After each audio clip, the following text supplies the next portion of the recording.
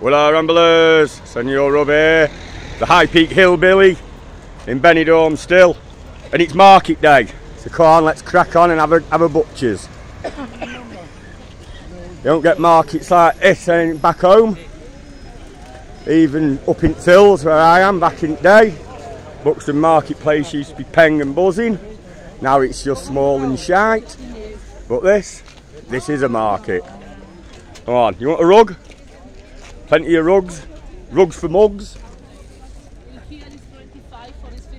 Some hokey jewellery.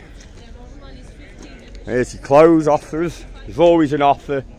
Offer everywhere at that. Purse. Purse one euro. Smaller purse. Two for one euro. Hey, you just can't make these. I think you're just making these prices up. Yeah. Plenty of belts. Sorry. Sorry. Are you recording?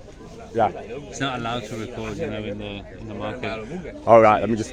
Okay, sorry about that, mate. I didn't know. Sorry, is from Ramble with Rub. Can't record on the market. I'm ever so sorry. Take care, viewers. Next time.